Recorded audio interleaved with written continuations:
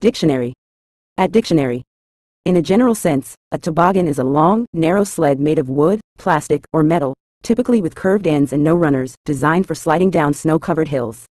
Toboggans are popular for recreational activities in snowy regions, providing a thrilling experience for individuals or groups as they glide down slopes.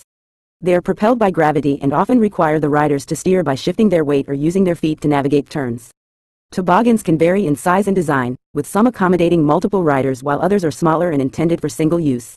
Beyond their recreational use, toboggans have also been historically utilized for transportation in regions with heavy snowfall, serving as a practical means of traversing snowy terrain.